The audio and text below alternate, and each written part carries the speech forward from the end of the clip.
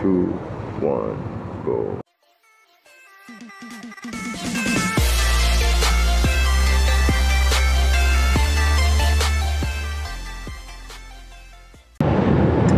Hari ni hari Sabtu Dan aku on the way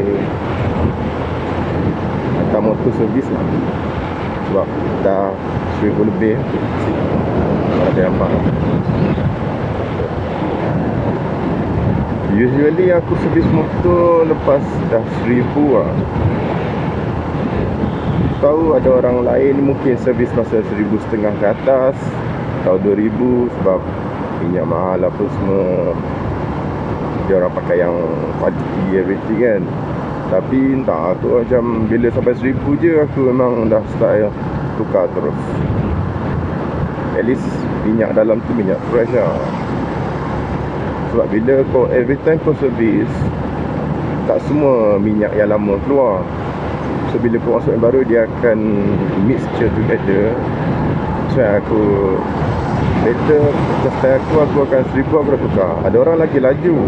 Walau dah lah pakai fully synthetic tau. Tapi dia dah 500 dah tukar. Itu memang orang betul-betul jaga Macam aku dah lah tak pakai fully synthetic Tukar pula seribu dia 500 dah tukar. Aku macam wah apalah Untuk motor dia sendiri kan. Okay.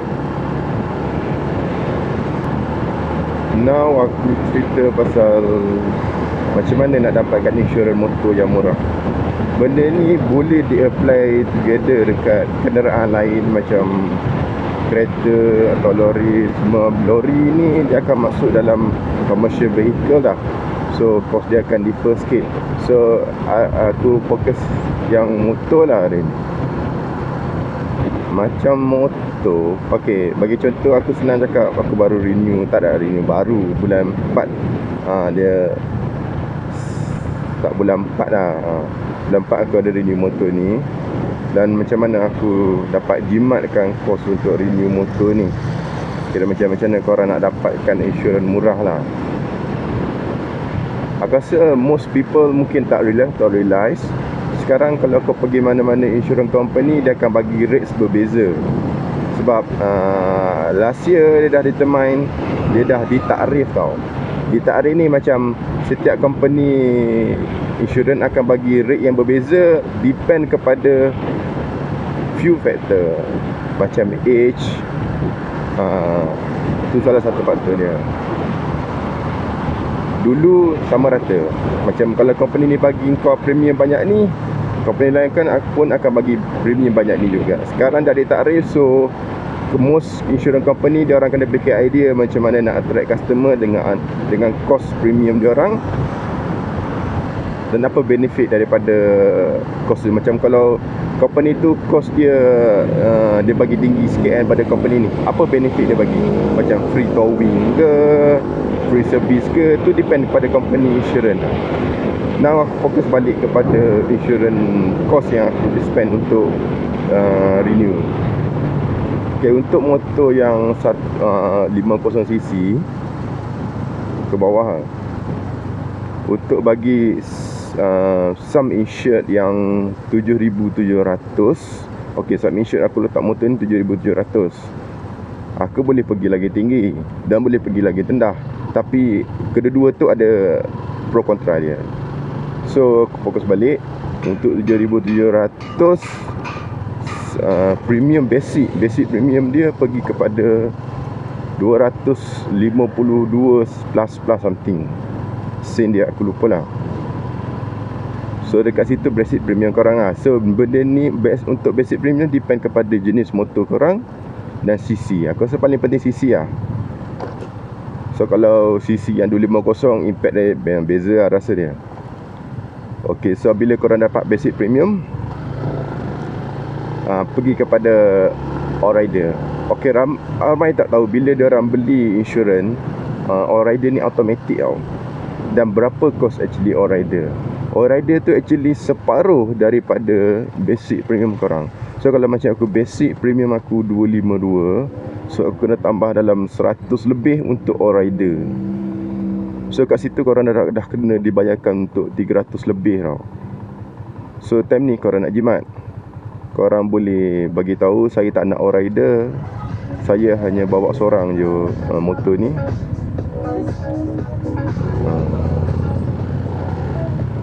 So dia apabila all rider dibuang Korang dapat jimat separuh. So kat sini korang stick kepada 252 tu je. Sini korang jimat 100 lebih. Now Now masuk uh, kepada second thing uh, nak second thing. Third thing would be NCB orang patut tahu NCB ni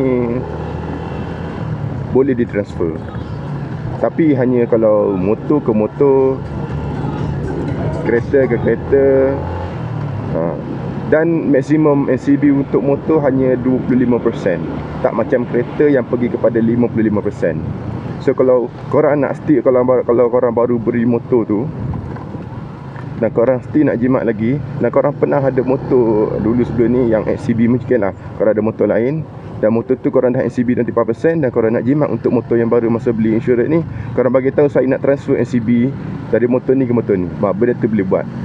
So korang boleh jimat 25% lagi. So kat situ um, 24% uh, Okay aku lupa. Matematik aku fail. Uh, Okay. Kat situ korang dah dapat Berapa actually remang So uh, Dalam Lepas aku renew-renew tu Dalam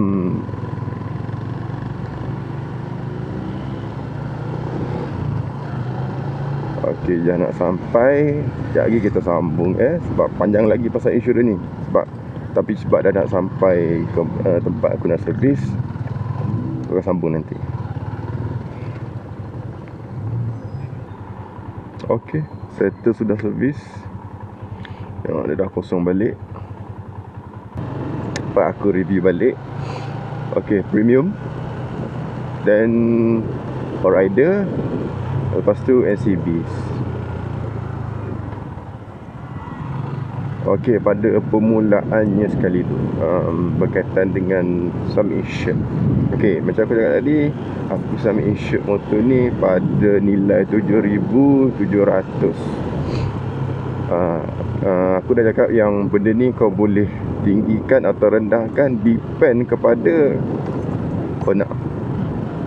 Uh, tapi kalau terlalu rendah Of course lah akan jadi something wrong. Dan mungkin uh, insurance company tak bagilah. Macam motor ni Patutnya di market value kan dekat 8,000 Tapi kau letak 2,000 ah, Dekat sini yang problemnya If suddenly happen macam rosak dan accident Dan dia nilaikan kau some insurance Kau actually 7,000 uh, Atau 8,000 Dan kau hanya uh, Insuredkan ni sebagai 2,000 So nilai macam 6000 tu kau kena cover dekat kiraan dia lah. So kalau macam cost repair dia in the end bila accident tu lah um, like 800 dan kau kena bayar that 60% uh, cost repair tu itu yang bahayanya kalau kau un, kita panggil dia under insured lah. Dan kita masuk kepada bab rider. Kalau korang memang confirm korang je kena motor korang tak bagi member korang ha, tak ada masalah korang nak buang rider. Sebab rider macam aku cakap tadi dia akan tambah kau separuh daripada basic premium. So kalau basic premium kau 300 kau kena tambah 100 setengah tau tambah basic premium kau. Okay, tapi kalau korang buang uh, all rider uh, jadi kosong. Korang nyimak 100 setengah. Tapi korang kena pastikan memang korang je lah buat motor tu. Bukan kita minta. If lah orang lain buat motor tu kan Ada accident. Korang kena bayar access banyak RM400 tau. RM400 tu bukan sikit. Korang akan kena kita panggil dia 2F access Sebab driver is not include in the policy. Itu yang bahaya kalau motor ramai guna Tapi korang buang all rider. Kalau jadi apa-apa-apa Memang orang akan sakit lah Nak bayar tu. SS Melainkan korang repair sendiri apa semua. Ni kalau korang tak nak claim dengan insurance lah. Kalau korang macam nak settle sendiri tepi Macam video aku sebelum ni Settle tepi Tak perlu bayar SS Lepas tu ACB Saya cakap tadi NCB is transferable. So kalau korang pernah ada motor sendiri Dan motor tu ada NCB Dan korang angkat motor baru Korang tak nak ada uh, Korang nak reducekan cost Premium korang tu Tak ada NCB Tapi itulah motor hanya ada 5% Iaitu setahun. Tak macam kereta maksimum 55 tak 55% Itu jimat lagi lah. So summary dia uh, Sum insured korang Iaitu berapa korang nak dapatkan basic premium. Makin rendah Makin rendah uh, basic uh, Sum insured korang Makin rendah basic premium.